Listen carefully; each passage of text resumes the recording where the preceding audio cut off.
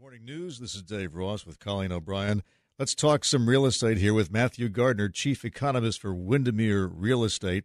And it looks like um, the new figures show the housing market uh, came roaring back after the snow. Huh? It did. I mean, quite a significant pop.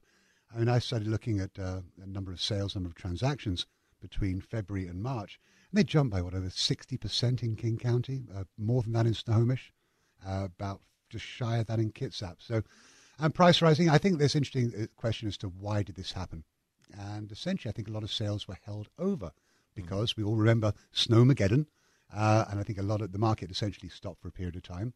That then came rushing back but also, as importantly, uh, a, was a significant drop in mortgage rates. We saw them drop by almost half a percent. Massive, massive move. So I think a lot of people that were on the fences, so obviously jumped off them, uh, and we're actually going to see a real spring market, which is interesting because we did not see that last year. So it looks healthy according to the numbers, but I have to bounce this off you because we've had a big discussion ever since the, the KOMO television report called Seattle is Dying, whether this is a healthy community worth investing in or whether our government leaders have just um, written off the problems and we're going to have to live with them. I mean, that's that is the seems to be the overriding question in people's minds. So, first of all, what's your take on that whole Seattle is dying meme? We have significant problems. There's no question about it, uh, and I think there's, there's several things we need to look at. And a good example of this is I mean, I fly a lot, and I come back into SeaTac Airport, and what do I see? At baggage claim uh, a bunch of people there saying, "Can you give money for the homeless?" Mm-hmm. Now, I mean, I, I, live here, so I kind of get it, but I think it's an interesting uh, facet to see that occurring. Imagine you're a traveller coming here. Is that really the first thing you want to see? Yeah. Do we have problems? Yes, we do. And I think yes, uh, has the uh, city council dropped the ball? No question about it. I, I think we need to spend a lot more effort, a lot more energy on trying to address this. It is not unique, however, to Seattle. We see it in Portland.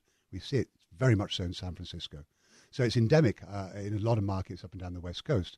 Comfortable place to be, for people to be. If they're not having anyone pushing back on them, then they're going to stay. So, uh, had, had, can that have a, a, a, significant effect on the housing market? Well, I think if you look, you got to look at two markets. Certainly, the downtown market, sure, uh, I think it can. However, in terms of uh, the city as a whole or the region, probably I think the effects are, are less consequential when it comes to housing prices. So I don't expect to see that having a major impact. But it, it is something that's hanging out there which needs to be addressed. Yeah. And it is clearly not happening. Another controversy, perennial controversy, is Sound Transit. Has it been worth the money? And we were talking about you know, Amazon's decision to move into Bellevue, which I think come up in our discussions before. And uh, John Chelminiak, uh, actually former KIRO employee, now the mayor of Bellevue, pointed out that uh, a lot of development on the east side is being driven by that light rail line now. Do you agree with that? Oh, absolutely, I do. If you think about it, well, once the line gets opened, depending on when you believe that's going to be, they're still saying 2024. Uh, imagine a situation whereby, uh, if you are, let's say, an employee at Amazon, you can be in your office in Seattle, and 12 minutes later, you could be at your office in Bellevue. That is very, very significant. So, is it driving that? Very much so. And I think Bellevue continues, and it's been that way, I would argue, since the late 1990s, emerging as uh, an independent city, uh, yeah. one that doesn't uh, necessarily run to the tune of Seattle. That happened when Symetra Financial opened up their global headquarters in, I believe, 99. Is it growing? Yeah. Is it autonomous? Absolutely. Has it also got the space to develop? More so than Seattle, very much so. Right. So I think when you see uh, Amazon expanding there, and I think the expansion there, in my personal opinion, they're not going to replace the Long Island Sound facility, which they pulled back from.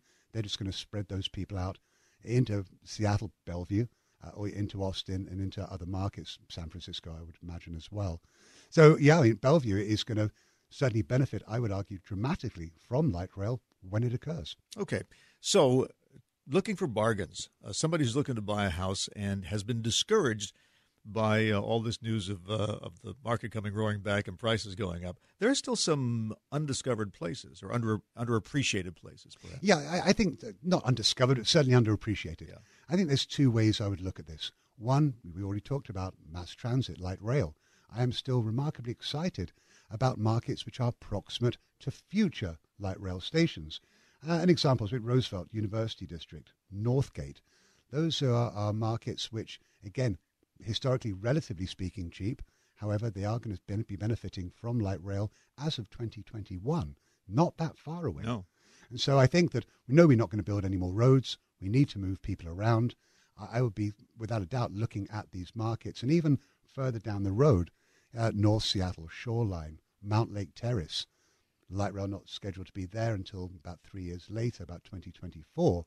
But again, I, I, we're certainly already seeing some investors start to look around those markets to start picking off some houses which they believe longer term are going to see more significant upside in terms of price than many others. I look at what happens in other areas of the country. We have some relatives living in Washington, D.C., for example, where that light rail system has created some uh, really remarkable suburbs that have uh, a mix of apartment buildings and single family homes, but you hop on a train and in a half hour you're in Washington, D.C. And it's a, and it's a very appealing lifestyle to a lot of people. Oh, very much so. And we, uh, as a nation, we're comfortable commuting up to 35 minutes each way. Uh, that's the level which has been that's decided. What, that's, that studies tell you. Correct. That we're okay. Up 30, 35 minutes is the golden. But, but, it has to be 35 minutes, David. It yeah. can't be 20 minutes one day and an hour and a half the next. Yeah, right. Uh, and clearly, mass transit has, well, depending on the form of it, has that capacity. So uh, I think, yeah, uh, we will create these emerging neighborhoods. I would also argue to a degree we need to look at density and whether the rezoning that's being talked about now is sufficient enough to meet that demand. I mean, you could argue that where some markets will say, okay, you can build up to 65 feet, well, perhaps you should be able to build up to 90 feet. Perhaps we can actually add more density than is currently being suggested. But it's not just areas around uh, future mass transit options, which I think are important as well. There are other ones. I mean, go back, it was several years ago, for example, let's look at Columbia City, Georgetown. Historically, very underappreciated. Certainly, that is clearly not the case today. No. They have already emerged. And so I think there's some other ones which I would look at as well, uh, which would be I mean, Burien, uh, Beacon Hill, Allentown. I would also argue White Center, uh, south of Delridge uh, in West Seattle, as areas, again, which, relatively speaking, are cheap. Sales prices are still below $500,000. Mm-hmm. Certainly not cheap, but everything is relative. And I think those are areas, again, it's, it's these first ex urban markets, first rings around our cities. They're the ones that I think are going to benefit in the long run more so uh, than in further suburban Sammamish Plateau, Issaquah, these kinds of areas. So the prosperity, because I know Burien has, you know, sort of a mixed reputation, same thing with White Center. You think the prosperity trend is strong enough to really reach into those areas as well? Huh? I think it can be. But again, you've got to look at it not on a, uh, I can buy a house now and it's going to double in value in 18 months. Yeah. No. I mean, you should always be taking the longer view. Uh, your house is your home first and an asset second. I've, I've always said that. But yeah, I mean, I really think that uh, we've seen it before, as I mentioned in Columbia City, not necessarily several years ago, a, a great place to be. Now you're seeing townhomes there trading in the uh, high $800,000 price range. Yeah. But again, also proximity to mass transit, proximity to downtown. So, yeah, I, I would argue over time we'll see this. We'll see capital expenditures. We'll see retail start moving in there, which essentially always follows population. Start seeing some good. Re- always watch restaurants you start seeing good restaurants open, always a very good sign. That's the signal. Yes, it is. there, there are some great restaurants in Columbia City. Oh, that's some of the best ones I've eaten in the last year, both down there, yes. Matthew Gardner, Chief Economist for Windermere. Matthew, thank you.